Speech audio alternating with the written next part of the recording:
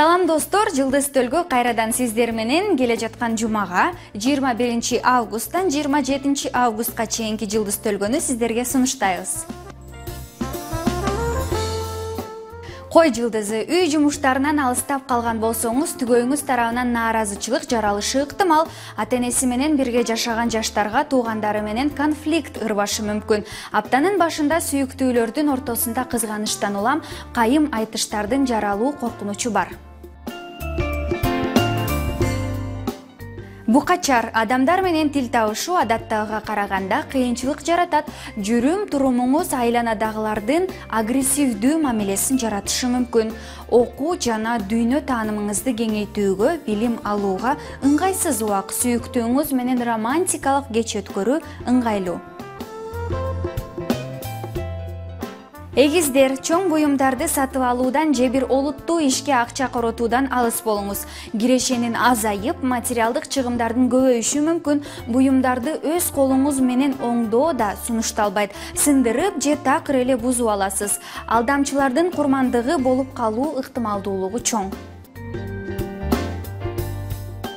бөйөн башкалардын ою менен эсептешпей жалгыз жумуш жасоого ыктайсыз. Кайсы бир кадамга барууга жетүү өлчөп биргесиңиз бул аптада түзгөн пландардын ишке ашуусуна ыктымалдуулук көп. Аптанын экинчи жарымы туугандар менен тил табышуу жана документтерди каттатуу үчүн ийгиликтүү убакыт арстан бейтапканага барышыңыз мүмкүн. Жолугушуу жана таанышууларга убакыт бөлүү пайдасыз. Апта башында жубайыңыз же өнөктөшүңүз менен түшүнбөстүктөр келип чыгуусу күтүлөт. Сөз бергендерге ишенип юридикалык документтерге кол койбоңуз. Бийкеч көп өзгөрүүлөр болот. Пикирлештериңиз жана досторуңуз менен маселелер жаралат. Алар менен карызга акча алышып беришүүдө абайлаңыз. Чыр чыгышы мүмкүн. Ден соолугуңузга жакшылап кам көрүү сунушталат. Сырткы келбетин же кийинүү стилин өзгөртүүнү каалагандар үчүн ыңгайлуу учур.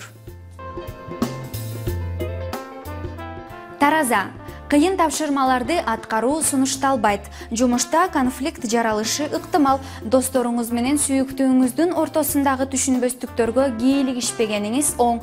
Өздөрү чечишип алышат. Балдарыңыздын жарыштардагы ийгиликтери кубандырат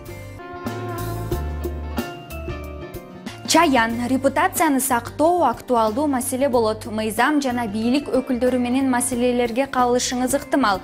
Алыскы жолго чыгуу жана саякаттоо үчүн ыңгайсыз учур. Апта башында жакын адамдарыңыз үй бүлөңүздүн колдоосусуз кайсы бир ишти баштоо сунушталбайт жаачы коопсуздугуңузга жана каржылык ресурстарыңызды сактоого кам көрөсүз. Жаракат алуу күйүп калуу бир жериңизди сындырып алуу коркунучу бар. Буга байланыштуу курч жана кесүүчү каражаттар менен иштөөдөн алыс болуңуз.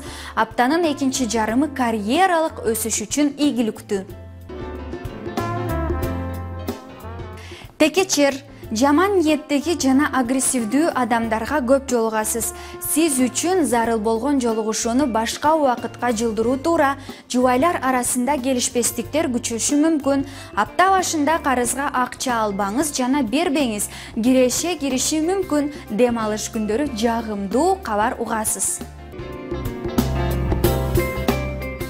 сулуу куяр ден соолугуңузга көңүл буруңуз жумушуңуз күйүп жатса да эс алууга кыска болсо да убакыт табыңыз энергияны көп коротуп көп иштегениңиз ден соолугуңузга зыян алып келиши мүмкүн. Жубайыңыз менен чырдашуудан алыс болуш үчүн кызганычка жол бербеңиз. Дем алышта жаратылыш коюнунда эс алуу күтөт сизди балык жакшы көргөн адамдарыңызга көңүл бөлүңүз. Көп убакытка ысык алакада болгон адамдарыңыз менен мамилеңиз солгундашы мүмкүн. Балалууларды балдардын жүрүм туруму ойлондурат. Тойго чакырып аласыз. Барып көңүл ачып келүүдөн баш тартпаңыз. Урматтуу достор биз сиздерге жыйырма биринчи августтан жыйырма жетинчи августка чейинки жылдыз төлгөнү сунуштадык. Ар бириңиздер өзүңүздөргө пайдалуу кеңештерди жана маалыматты алдыңыздар деген биз ишеничтебиз кийин көрүшкөнчө аман эсен туруңуздар